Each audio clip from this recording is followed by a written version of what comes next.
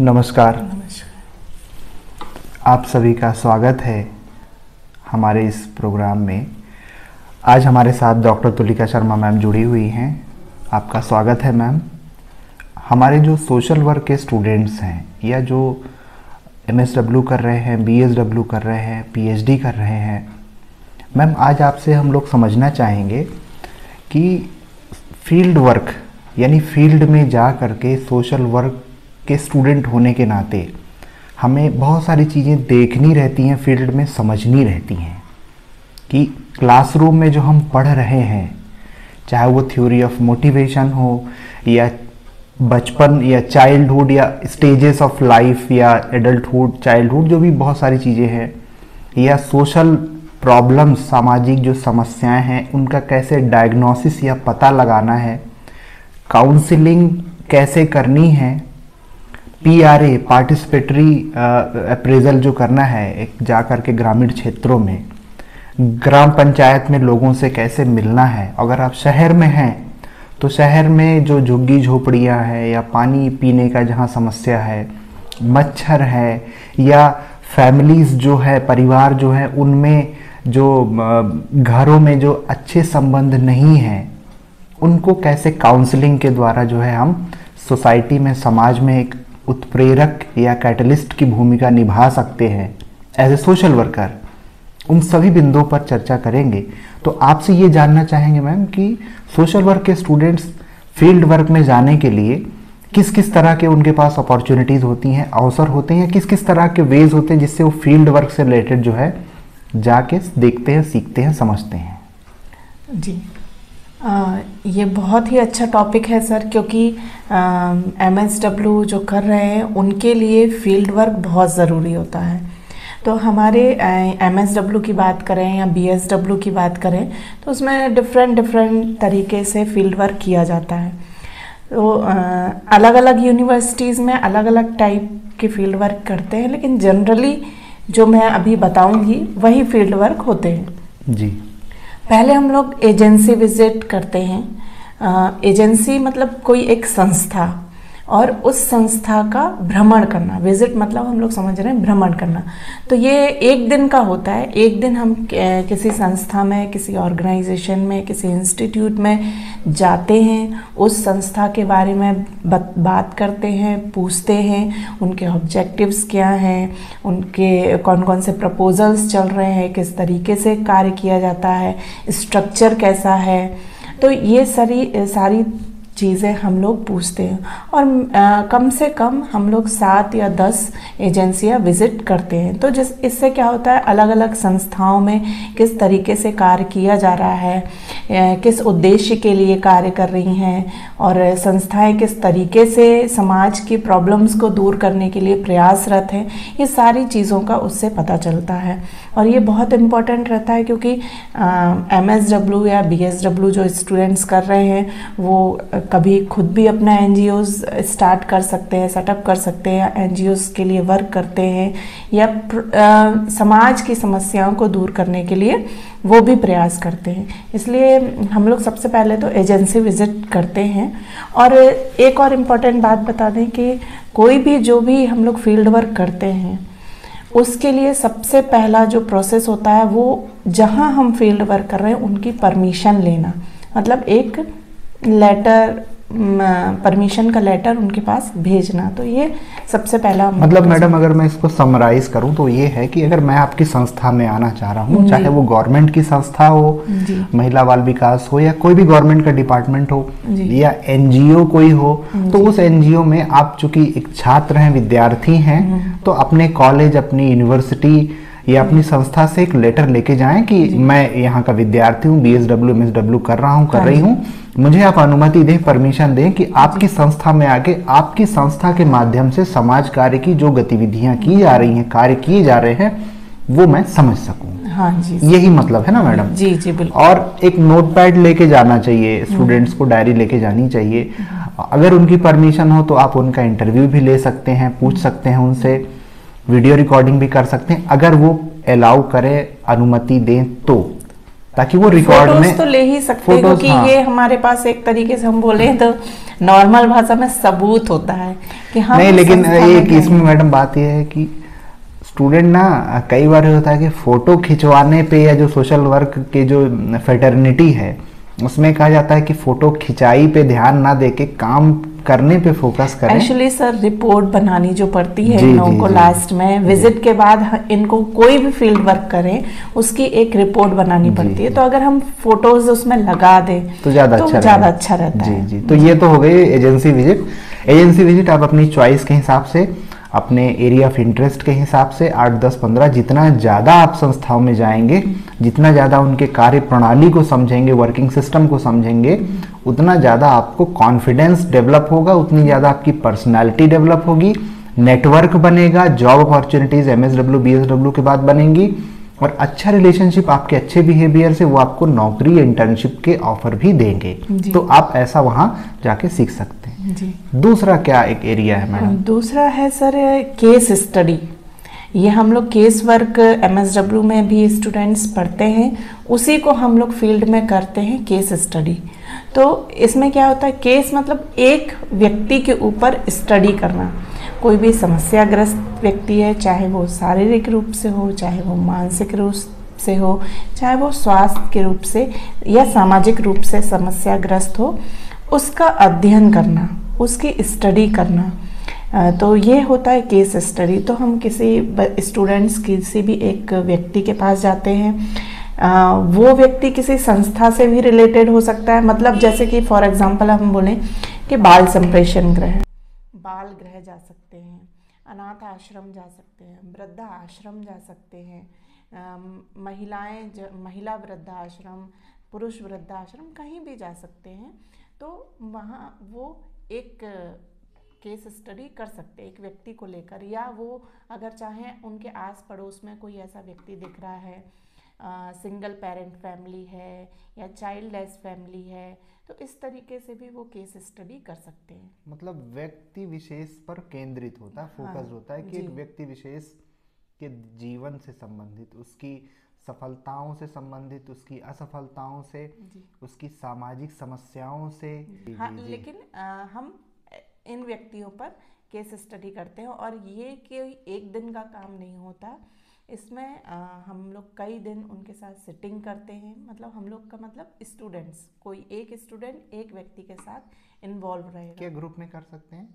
नहीं sir case study group में नहीं कर सकते? नहीं सर केस स्टडी सिंगल करते हैं क्योंकि केस वर्क करने का सबसे एक जो प्रिंसिपल है सबसे इंपॉर्टेंट है वो है गोपनीयता सर कि आपको एक व्यक्ति जो आपको अपनी प्रॉब्लम शेयर कर रहा है मतलब वो अपनी बातों को विश्वास करके आपको बता रहा है और वो आपको गुप्त रखनी है तो अपने ये तक ही रखनी है काउंसलिंग वाले मैटर में काउंसलिंग से रिलेटेड एक तरह से परामर्श या हाँ लेकिन हम वो सारी चीज़ें इसमें लागू करते हैं क्योंकि हम जो अ, पढ़ रहे हैं क्लास में बैठ के वो प्रिंसिपल हमको यहाँ लागू करने हैं यहाँ अपनाने हैं उन चीज़ों को तभी मतलब तो देखना है कि आप जो सीखे हैं क्या हाँ। वो चीज़ें एक्चुअल में हो रही जी, हैं जी। क्या नहीं क्या लोग सही में अपनी समस्याओं को बता के उस तरह से वो महसूस कर पा रहे हैं कर पा रहे हैं। उनके लिए आप इतने दिनों में जितने दिन आपने स्टडी की है उतने दिन आप कुछ बदलाव कर पाए हैं। आप अपनी तरफ़ से उनको क्या दे पाए हैं? काउंसलिंग के ज़रिए उनको में कुछ चेंज आया है क्या? तो ये सारी प्रोसेस इस केस स्टडी में अच्छा केस स्टडी में क्या कोई लोकेशन में किसी एक जगह पर कॉलोनी में या गाँव में कस्बे में कोई समस्या हो तो उसका भी कुछ अध्ययन किया जा सकता है क्या केस स्टडी के रूप में? नहीं सर। मतलब लोगों के साथ या उनसे जुड़कर उनके ही अगर बिंदुओं को देखें तभी वो केस स्टडी में आएगा। जी सर एक व्यक्ति की समस्या अच्छा, अगर अच्छा, आप दूर कर रहे हैं तो ग्रुप की है तो वो तो ग्रुप अलग हो जाएगा, वर्क जी, हो जी। गया। जी तो अगला क्या है? नेक्स्ट हम लोग करते हैं रूरल कैंप हाँ रूरल कैंप रूरल कैंप ग्रामीण जी। शिविर। तो ये तो मैं भी बहुत इंटरेस्टेड हूँ जानने के लिए। कि गाँव में आप शिविर लगाए हैं आठ दस दिन रह रहे हैं और वहाँ गाँव के बारे में जान रहे हैं समझ रहे हैं। आप बताइए प्लीज़ सबसे पहले तो कोई एक एरिया उनको सिलेक्ट करना पड़ता है। रूरल जैसा कि ग्रामीण एरिया हम लोग देखते हैं। तो ग्रामीण एरिया उनको सिलेक्ट करना पड़ता है। वो स्टूडेंट्स अपना देख के कन्वीनियंस के अनुसार या उनको लगता है कि हमको इस गाँव में, इस क्षेत्र में काम करने की ज़रूरत है तो वो वो खुद सेलेक्ट करते हैं। उसके बाद सात दिन का हम लोगों का रहता है तो सात दिन हम लोग सुबह से रहने का तो नहीं होता है सर, वहाँ रहते नहीं हैं, लेकिन हम लोग सुबह जाते हैं और शाम को पाँच छः बजे तक वापस आते हैं।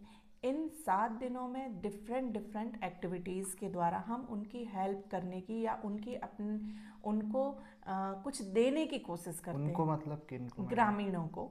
जी। ग्रामीणों को कुछ देने की कोशिश करते हैं उनकी हेल्प करने की कोशिश करते हैं। उनके विकास के लिए अगर एक परसेंट भी कंट्रीब्यूशन हम कर सकते हैं तो वो करने की कोशिश मतलब करते आप सुबह से जाके शाम तक गाँव में देखते हैं जी। समझते हैं जी। उन गाँव वालों की या जो लोग हैं वहाँ उनसे बात करते हैं उनको बुलाते हैं प्रोग्राम ऑर्गेनाइज करते हैं। उनकी समस्याओं को दूर करने के लिए आप जो है प्रयास करते हैं और समझने की कोशिश करते हैं। एज ए स्टूडेंट कि गाँव में क्या स्थिति है परिस्थितियाँ क्या हैं चुनौतियाँ क्या है। और समाधान क्या है? यही करते हैं। ये जो मैं सही हाँ, समझ पा रहा हूँ। जैसे फ़र्स्ट डे हम लोग विज़िट करेंगे लोगों से बात करेंगे और ऑब्जर्वेशन भी करेंगे क्योंकि कई चीज़ें हमको बात से पता नहीं चलती हैं कई चीज़ें हमको ऑब्ज़र्व करके पता चलती हैं। तो हम विज़िट करेंगे उनके प्रॉब्लम्स को जानेंगे फिर हम लोग जैसे वहाँ के नीड के अनुसार आवश्यकता के अनुसार जैसे सामाजिक आर्थिक परिस्थितियों हाँ, के अनुसार। जैसे एक दिन हम लोग पशु चिकित्सा शिविर लगा देंगे। एक उसमें हम लोग फ्री दवाइयाँ देते हैं। पशु चिकित्सालय मतलब आप देंगे मैडम मैं नहीं सही नहीं। वही मैं आगे बोलने जा रही थी। जी जी। हम लोग का कंट्रीब्यूशन होता है लोगों को इकट्ठा करने में उनको जागरूक करने में। लेकिन दवाइयाँ हम लोग उनसे कांटेक्ट करते हैं। वो पशु चिकित्सालय से डॉक्टर्स आते हैं उनके सहयोग से हम उनको फ्री दवाइयाँ मतलब डिस्ट्रीब्यूट मैं अब मैं भी एक्साइटेड हो रहा हूँ थोड़ा बात करने के लिए। एक्साइटमेंट मेरा भी है। मतलब ये आपका कहना हुआ कि जैसे पशु चिकित्सा के बारे में शिविर आप लगा रहे हैं तो पशु चिकित्सा विभाग जो है प्रशासन का शासन का लोकल स्तर पर स्थानीय स्तर पर उनसे आप मिलते हैं उनसे कम्युनिकेट करते हैं कि देखिए सर या जो मैडम है जो इंचार्ज है वहाँ के कि हम इस गाँव में पशुओं के चिकित्सा से संबंधित शिविर लगाना चाह रहे हैं। तो सर आप अपनी जो टीम है आपकी डॉक्टर्स की और जो भी स्टाफ की और दवाइयाँ वगैरह ले करके आप इस गाँव में हमें जो है आप मिलिए हमारे स्टूडेंट्स रहेंगे और वहाँ जो पशु हैं उनकी चिकित्सा से संबंधित जो भी सुझाव देना है सलाह देना है दवाइयाँ देनी है चेकअप करने हैं पशुओं के वो आप जो है वहाँ हमें हमें हेल्प करिए। तो एज ए फैसिलिटेटर जी। सोशल वर्कर के जो सोशल वर्क के जो स्टूडेंट्स होते हैं उनकी भूमिका हो जाती है कि कैसे वो social work department health department और गाँव वालों को कैसे जोड़ते हैं? यही हम मैं समझ पा रहा हूँ। सही हाँ, कह रहा हूँ? जी जी जी सर। तो अ, ये हम सभी हेल्थ में भी ऐसा ही करते हैं अगर हमको हेल्थ इस तरह से मैडम मुझे लगता है कि हेल्थ डिपार्टमेंट जो है उसको भी जोड़ के करते हैं। हाँ, जी, जी, है ना? जी, कि जी। आप जो है जो गाँव में या कस्बे में जहाँ भी आप अपना कैंप रख रहे हैं ऑर्गेनाइज कर रहे हैं स्वास्थ्य विभाग की जो टीम है उनको रिक्वेस्ट करके एक परमिशन उनको लेके उनकी टीम बुला के गाँव में महिलाओं की जो खून की स्थिति है जिसको एनीमिया कहते हैं है ना? ब्लड प्रेशर कितना है हाइपरटेंशन है कि नहीं है ना? सु ब्लड शुगर कितना है या छोटी मोटी जो बीमारियाँ हैं उनके लिए कैंप लगवा के आप जो है सोशल वर्क स्टूडेंट होने के नाते गाँव की समस्या दूर करने की कोशिश करते हैं। शिक्षा शिक्षा के क्षेत्र में क्या करते हैं मैम? गाँव में अगर गए स्कूल में तो? शिक्षा के क्षेत्र में स्कूल्स में जाके स्टूडेंट्स पढ़ाते भी हैं और उनको शिक्षा के प्रति जागरूक भी करते हैं क्योंकि हम लोग देखते हैं कि ग्रामीण में गाँव के एरियाज़ में ड्रॉप आउट की बहुत ज़्यादा समस्या होती है। तो उसके बारे में उनको अवेयर करते हैं कि आगे भी पढ़ना है आगे बढ़ना है। दूसरी बात ये, बालिकाओं की शिक्षा को लेके अवेयर करते हैं कि कई बार सोचते हैं कि लड़कियों की तो शादी कर देना है, पढ़ा के क्या करेंगे? तो पेरेंट्स को भी करते हैं और बालिकाओं को भी करते हैं और टीचर्स से भी हम लोग बोलते हैं इंसिस्ट करते हैं, आप भी समय समय पर इनको जागरूक करिए। उनके साथ खेलते भी हैं स्टू- जो स्टूडेंट्स रहते हैं छोटे बच्चे रहते हैं रैली निकालते हैं जिससे कि वो हमसे जुड़ें। एक्चुअली इस रूरल कैंप में सबसे ज़्यादा ज़रूरत इस बात की होती है कि रूरल एरियाज़ के जो लोग हैं वो आपसे किस तरह से जुड़ते हैं। उनको अपने आप में जोड़ना ज़रूरी है। अगर आप जाके सीधे भाषण देने लग जाएँगे तो वो नहीं जुड़ेंगे। तो आपको उनके साथ लगना पड़ता है। जैसे हम लोग श्रम दान करने लगते हैं कि सफ़ाई करना है स्वच्छता अगर रखना है तो हम स्वच्छता का अगर उनको जाके निबंध सुना देंगे या भाषण दे देंगे तो वो नहीं मानेंगे। हमको खुद उनके साथ मतलब कहें कहने के बजाय करने में विश्वास रखना कि आप करिए वहाँ जाके कुछ काम करिए कुछ वहाँ लोगों को दिखाइए तो लोग खुद अपने आप जुड़ने लगते हैं आपसे। और एक जो मैं सोच रहा था मैडम कि लड़कियों की जो शिक्षा की बात कर रहे हैं, लड़कियों के साथ जो मैं समझता हूँ, जो मैं मानता हूँ, ये है कि वो जिस घर में जन्म लेती हैं, पैदा होती हैं, उस घर में तो कंट्रीब्यूट करती हैं, अपना योगदान देती ही हैं बचपन से, पर विवाह के बाद में, शादी के बाद में, वो जिस घर में जाती हैं, अगर वो एजुकेटेड हैं, पढ़ी लिखी हैं, सोचने समझने की चीज़ें रखती हैं तो उस घर में भी जो है वो सामाजिक तौर पर, आर्थिक तौर पर राजनीतिक तौर पर उनमें एक सशक्तिकरण एक जो है एम्पावरमेंट होता है जब वो एजुकेटेड होती हैं पढ़ी लिखी होती हैं समझदारी उनमें विकसित होती है शिक्षा के साथ ही। तो वो दो दो घरों को जो है वो संभालती हैं जी। ये भी बोला जाता है अगर एक महिला शिक्षित रहेगी तो उसका पूरी पूरा परिवार शिक्षित रहेगा क्योंकि वो अपने बच्चों को भी फिर शिक्षा के प्रति प्रेरित करेगी जी। एक महिला। और मैडम एक गाँव जो हम लोग गए थे विज़िट किए थे छत्तीसगढ़ में जो है उस गाँव में क्या नाम था जी? सरगी पाल जी तो सरगी पाल में मैडम हम लोगों ने देखा मैंने ऑब्ज़र्व किया कि वहाँ गाँव में 80 परसेंट दस में से आठ घर में टाटा स्काई लगा हुआ है। जी। टाटा स्काई लगा होना गाँव में चूँकि छत्तीसगढ़ में बिजली बहुत ज़्यादा उत्पादन होती है बहुत ज़्यादा मतलब यहाँ गाँव में भी जो है बिजली की समस्या नहीं होती है बाकी राज्यों की तुलना में। तो बिजली होने के नाते और आर्थिक विकास होने के नाते मतलब गाँव में जो लोग हैं रोज़गार स्वरोजगार उद्यमिता के कारण उनमें इतना ज़्यादा वो है अवेयरनेस है इंटरटेनमेंट को लेके कि वो डीटीएच डायरेक्ट टू होम जो है D T H Tata Sky मैंने देखा वो गाँव में लगे हुए हैं। ऑलमोस्ट हर घर में एक आध दो घर में नहीं थे सरगी पाल की बात करें तो और आप जाके देख सकते हैं कि ये कितना जो है अवेयरनेस क्रिएट करता है क्योंकि टीवी जो है या जो इंटरनेट है मोबाइल जो है वो आज के डेट में लोगों को कितना जागरूकता कितना चीज़ों से अवेयर करता है। तो ये एक बहुत ही महत्वपूर्ण मैंने वहाँ पॉइंट देखा। जी आप जी मैम आप कहें प्लीज़ तो इस इसी तरीके से डिफरेंट एक्टिविटीज़ करते हैं सर हम लोग सात दिन और सातवें दिन लास्ट डे हम लोग समापन का दिन रखते हैं। उसमें हम लोग सरपंच, हालाँकि सरपंच से तो हम लोगों का रोज़ कांटेक्ट रहता ही है, लेकिन लास्ट डे हम लोग सरपंच जी को बुलाते हैं, किसी और उच्च अधिकारी को बुलाते हैं, जो, और उस लास्ट डे इसलिए इम्पोर्टेंट रहता है क्योंकि उस दिन हमारे स्टूडेंट्स जो होते हैं, वो सात छः दिन उन्होंने जो किया होता है, वो बताते हैं। प्रॉब्लम्स को बताते हैं। क्योंकि कई बार ये होता है कि हम अपने, हमारे आसपास जो प्रॉब्लम रहती है, हम उनको देख नहीं पाते।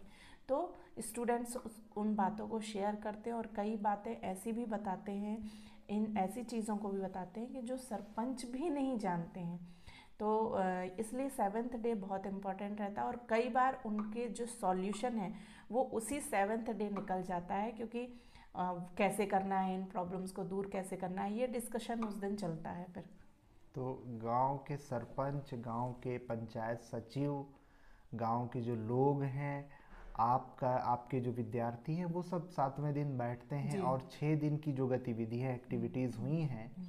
उन पर चर्चा करके या जो भी गाँव की समस्याएँ हमारे जो सोशल वर्क के प्रोफेशनल स्टूडेंट्स हैं सोशल वर्क एक प्रोफेशनल कोर्स भारत में जो है माना जाता है प्रोफेशनल जैसे M B M C A engineering है ना? उसी तरह से सोशल वर्क को भी माना जाता है। तो और वो प्रोफेशनल कोर्स इसलिए क्योंकि एक सिस्टमेटिक साइंटिफिक नॉलेज के हिसाब से हम सोशल वर्क करते हैं ना कि चैरिटी के हिसाब से।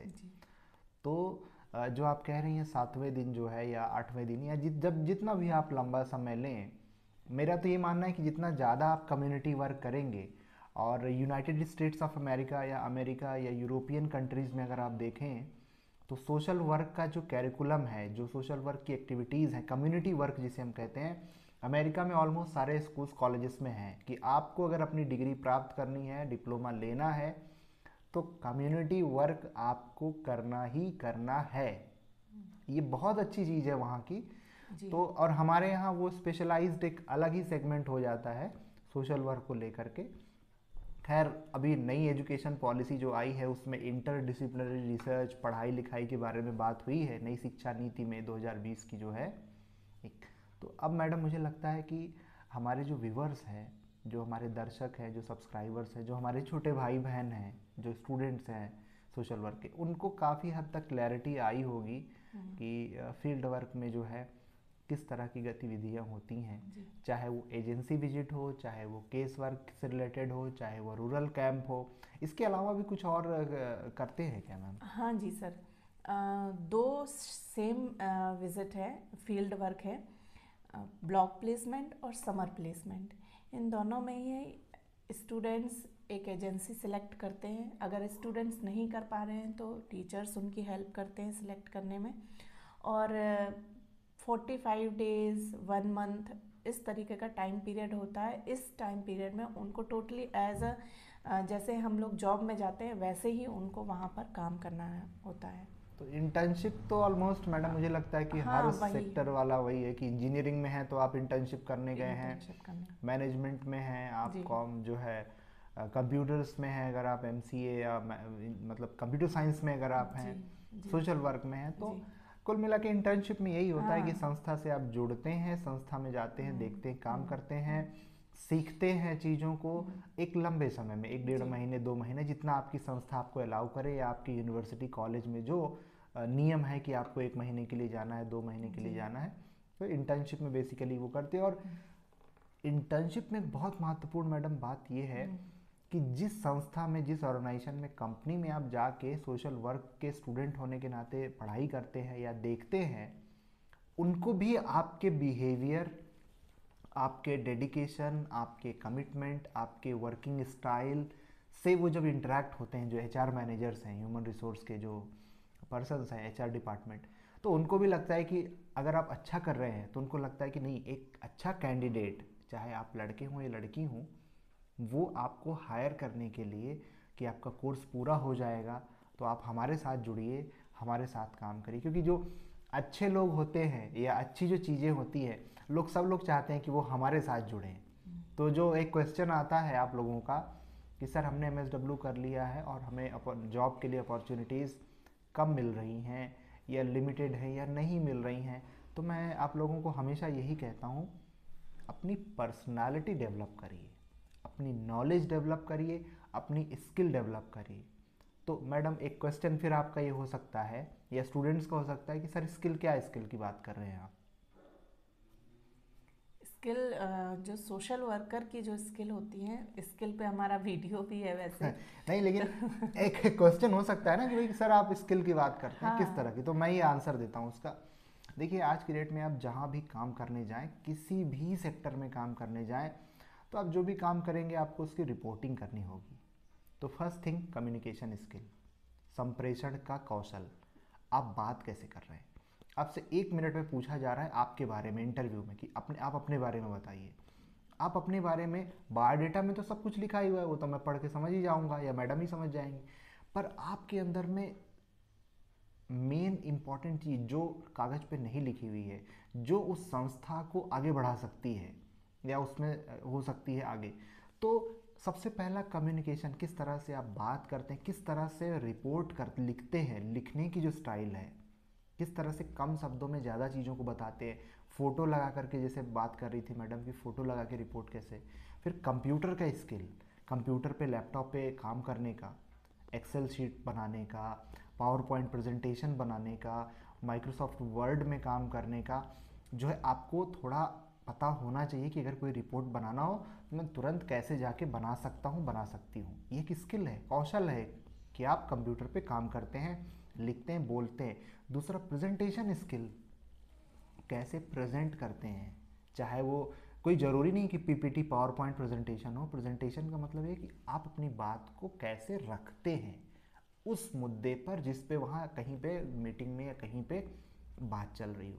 तो communication skill computer skill presentation skill और आपकी बॉडी लैंग्वेज बॉडी लैंग्वेज मतलब ये है कि आपके शरीर की भाषा क्या है? मतलब आप कैसे कैसे आप जो है अपने विचारों को व्यक्त करने की जैसे मेरे हाथों का मूवमेंट अगर आप देख रहे हो तो वो एक तरह से कन्विंस करते हैं किसी बात को कहने में। पर इसका मतलब जी आई। कांटेक्ट आपका कितना है? तो ये सब स्किल्स हो गई।